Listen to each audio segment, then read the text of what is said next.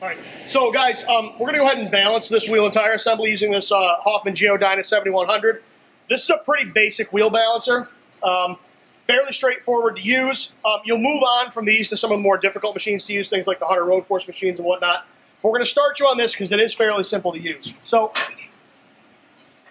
to turn the machine on, there's a switch on the back. Turn it on, wait for it to boot up. You'll know it's booted, you'll hear three beeps. It does take a second. All right, so now we're booted up. We can go ahead and put this wheel on the machine. So the first thing we need to do is find a cone that fits the pilot on this.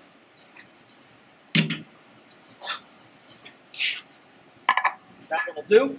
So this can be done a couple of different ways. I'm going to put the cone in the back this time around. You can cone from the front as well. So we're going to place a cone on the machine. Wing nut. I'm going to place the wheel and tire assembly on the machine. Now this is a very heavy wheel and tire assembly. It's off of a 2011 Tahoe.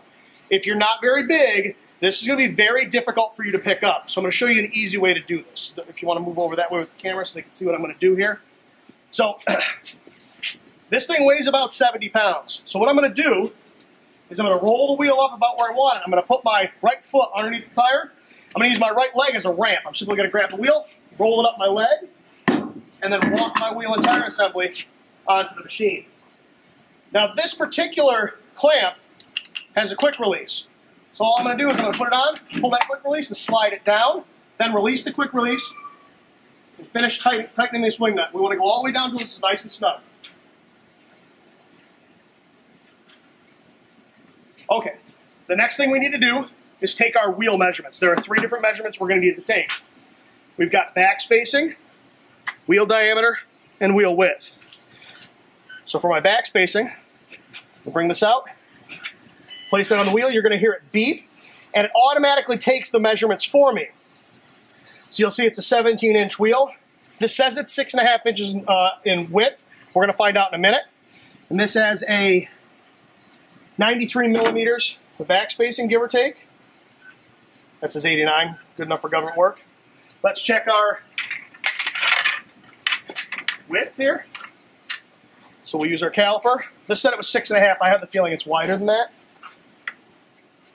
Yeah, it's seven and a half. So we're going to go ahead and we're going to increase this width to seven and a half. It is a 17 inch wheel, and I am going to change this from 89 to 93, which is what I measured it as. So now I've got 93 millimeters of back spacing there, 17 inches in diameter, seven and a half inches in width. Actually, you know what? This particular machine I don't think is measuring back spacing. It's simply measuring the distance from the machine to the wheel. Some of them measure back spacing. This one appears as though it's just measuring the distance. so we've got all our measurements in. 93, 17, 7.5. If you weren't sure what your rim diameter was, it's on the tire size. This is a P265 70R17. Those last two digits, that's our rim diameter in inches. So we've got all our measurements in. All we need to do is shut the hood. It's going to spin the wheel up.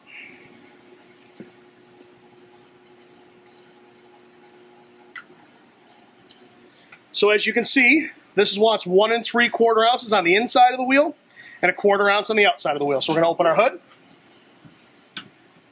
We're going to rotate our wheel and tire assembly. You're going to notice that these LEDs go three, two, one, green. My weight is going to go at exactly 12 o'clock on this inside bead lift. Let's grab some weights.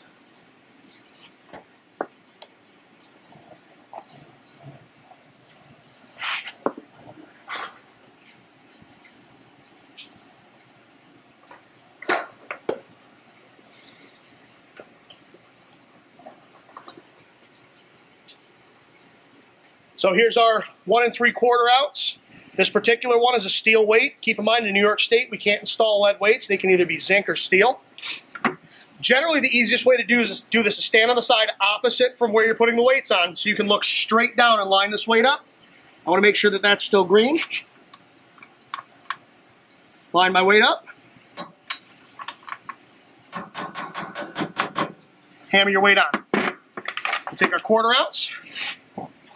We're going to do the same thing. We're going to roll this around until that green LED illuminates.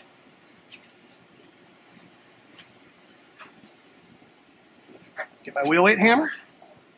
Place my weight at 12 o'clock. Hammer it on. Now, assuming this is all done correctly, I'm going to close the hood, spin this back up, and these should read zero.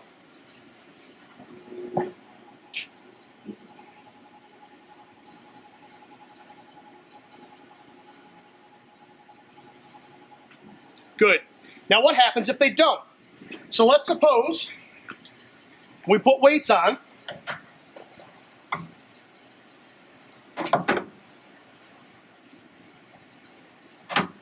Let's suppose we put our weights on, but we don't get this on quite right. So when we spin this up,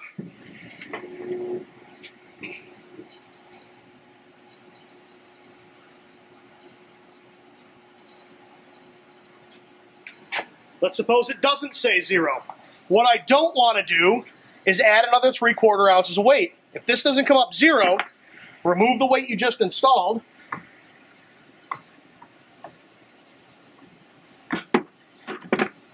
Spin the assembly back up.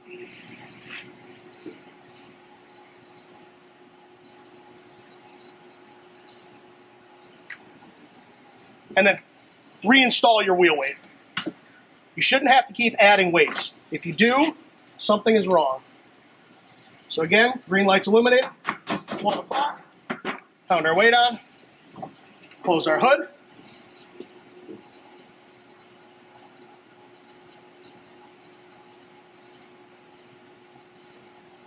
and zeros. That's what we want to see. When we're done, we're simply going to loosen our wing nut. And again, on this machine, it's got a quick wing nut. You just pull that trigger, slide your wing nut off, remove your wheel and tire assembly from the machine. Always remove your centering cones. Don't leave them on the arbor. And that's the job. Have a good one, guys.